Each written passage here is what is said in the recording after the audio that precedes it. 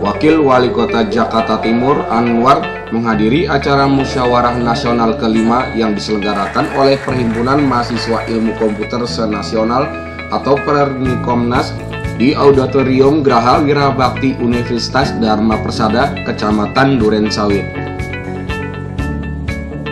Kegiatan Munas kelima ini akan digelar selama lima hari diisi dengan seminar sosialisasi sensor anti pornografi dan Small Big Impact, pameran, lomba, dan musyawarah nasional kelima yang diikuti oleh seluruh mahasiswa Fakultas Komputer dari seluruh Indonesia.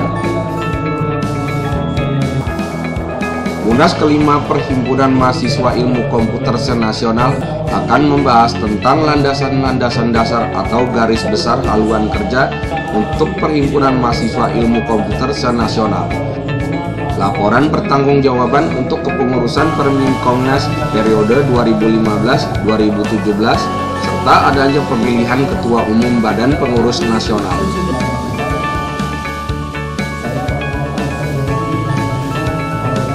Hari ini ada seminar Pengkominas itu tentang IT ya, tentang IT. Tentunya mahasiswa ini sebagai agen perubahan ya saya sampaikan dengan perubahan itu kita harus bisa filtrasi ya.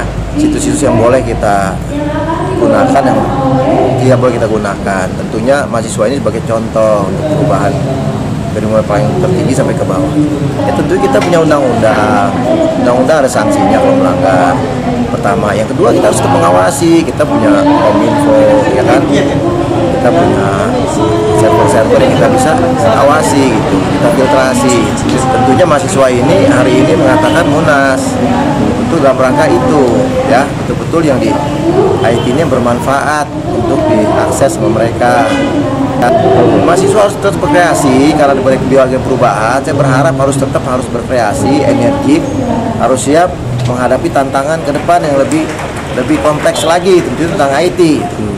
Iya, uh, kegiatan hari ini adalah rangkaian dari uh, Munas kelima dari Permikomnas. Permikomnas itu himpunan mahasiswa uh, komputer seluruh Indonesia yang uh, saat ini ada di Dharma Persada untuk mengikuti per, uh, Munas Permikomnas. Kegiatan ini akan berlangsung selama lima hari. Yang hari pertama kita buka dengan seminar yang tadi sudah dibuka oleh Bapak Wakil Wali Kota. Kemudian ada beberapa juga nanti munasnya itu selama dua hari.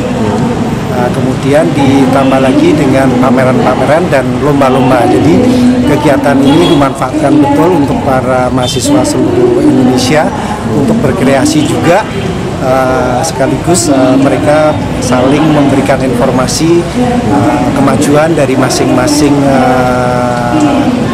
program studi yang dari daerah maupun yang dari pusat Jakarta.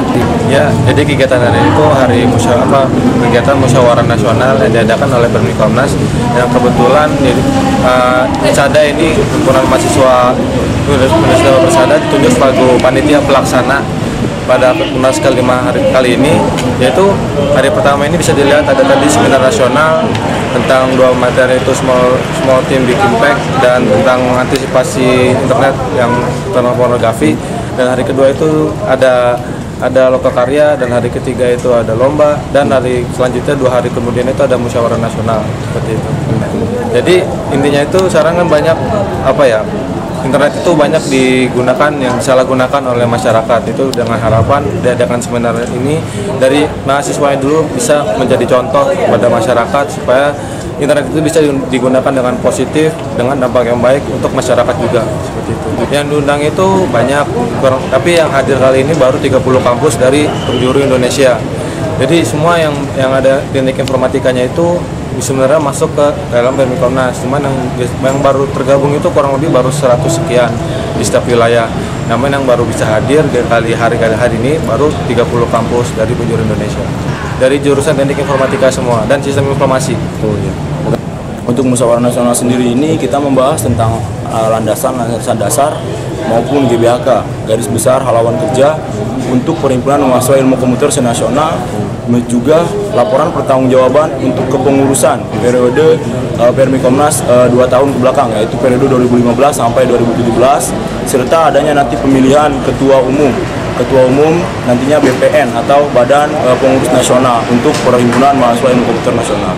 Harapan saya sendiri, eh, saya eh, mewakili teman-teman mahasiswa Universitas Tanjung Persada, di mana ini adalah acara nasional, teman-teman dari Sabang sampai Merauke datang ke Unsada. Yang pertama, bisa mendapatkan hasil yang maksimal untuk keberlangsungan Perhimpunan Mahasiswa Ilmu Komputer Nasional mendapatkan pemimpin yang nantinya bisa memajukan PMI Komnas dan yang terpenting adalah menjaga dan menjalin silaturahmi baik eh, antar eh, universitas maupun antar eh, himpunan ataupun teman-teman yang belajar di di bidang ilmu komputer nasional.